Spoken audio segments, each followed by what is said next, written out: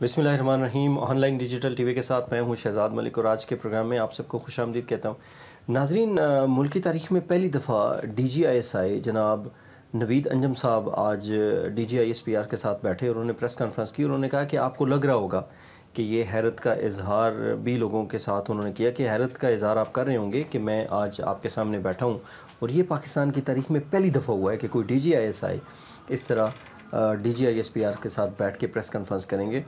उन्होंने बहुत सारी बातें की हैं, उन सब पे कमेंट करना तो शायद मुमकिन ना हो।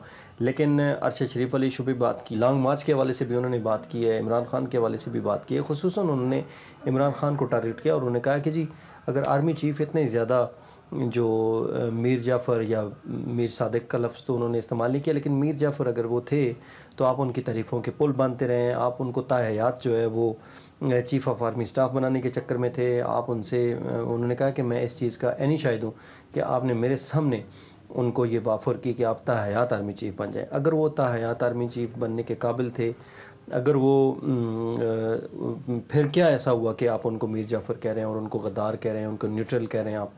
और उनको बेशुमार जो अलग, अलका बात हैं, बाकी इमरान खान उनको दे रहे हैं।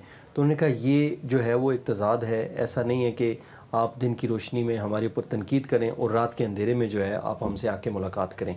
ये खुला तजाद जो है, वो है और इसको किसी तरह से भी काबिल कबूल नहीं है। उन्होंने कहा कि ये जवानों की खातर और इदारे की खातर मैं आपके सामने आया हूँ और उनको डिफेंड करने के लिए आया हूँ, उनके दिफा के लिए आया हूँ। तो ये उनकी बातें थी। उसके अलावा अरशद शरीफ मर्डर केस के ऊपर भी उन्होंने बातें की। उन्होंने कहा कि जी, इसमें A R Y T V के जो सी ई ओ हैं, सलमान इकबाल और उनकी टीम शामिल है उनके मर्डर में। उनको पाकिस्तान लाया जाए और उनसे पूछा जाए कि उन्होंने किस तरीके से उनको इंटरोगेट किया जाए अरशद शरीफ मर्डर के ऊपर। ये उनकी बातें थीं, ये उनकी चीज़ें थीं। इसके साथ साथ उनसे पूछा गया कि लॉन्ग मार्च के हवाले से तो उन्होंने कहा, जी, अगर मदद के लिए गवर्नमेंट ने हमें आर्टिकल 245 के तहत बुलाया तो हम ज़रूर आएँगे, हम गवर्नमेंट की मदद करेंगे। बाकी एहतजाज के ऊपर उन्होंने थोड़ा सा गोलमोल जवाब दिया कि एहतजाज करना पाकिस्तान के जो शहरी हैं, उनका कानूनी हक है, लेकिन उस हक के साथ साथ कुछ फ़रज़ भी हैं, जिनके ऊपर उन्हें बात करनी करना मुनासिब समझा।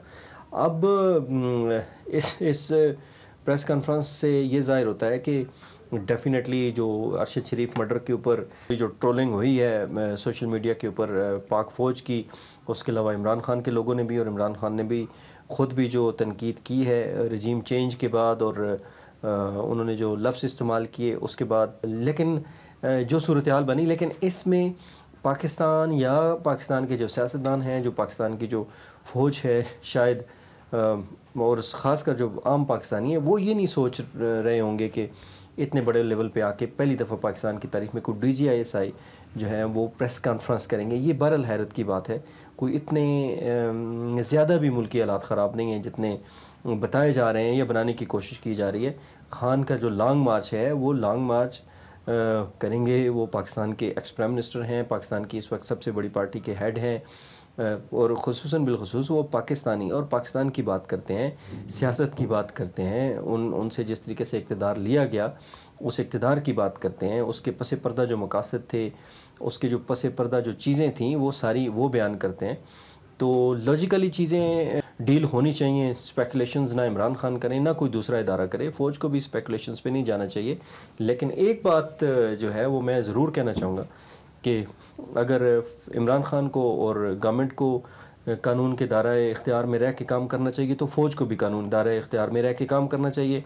उनको भी जो कानून कॉन्स्टिट्यूशनल डोमेन है कॉन्स्टिट्यूशनल जो उनका रोल है कॉन्स्टिट्यूशनल जो उनकी इख्तियार हैं, वो ही इस्तेमाल करनी चाहिए। तो सबको यही करना चाहिए। ऐसा नहीं है कि सिर्फ़ गवर्नमेंट को करना चाहिए और फ़ौज को नहीं करना चाहिए। फ़ौज अगर पस पर्दा रात को बारह बजे लोगों से मुलाकात कराएगी, फ़ौज अगर सियासत के अंदर इस तरह इंटरफेयर करेगी, फौर, फ़ौज अगर प्राइम मिनिस्टर चेंज करेगी फ़ौज अगर सियासतदानों को एक पार्टी से दूसरी पार्टी की तरफ़ करेगी फ़ौज अगर सियासतदानों से प्रेस कॉन्फ्रेंस करवाएगी फ़ौज मुख्तलिफ़ बिज़नेस में शामिल होगी तो डेफिनेटली फ़ौज के ऊपर उंगलियाँ भी उठेंगी और फ़ौज के ऊपर लोग बात भी करेंगे फ़ौज के ऊपर लोग ट्रेंड सेट भी करेंगे ट्रोलिंग भी करेंगे तनकीद भी करेंगे। तो आ, हल यही है हल एक ही है कि सबको अपने दायरा इख्तियार में रह के काम करना चाहिए। अगले प्रोग्राम तक के लिए इजाज़त दीजिए। अल्लाह हाफिज़ नासिर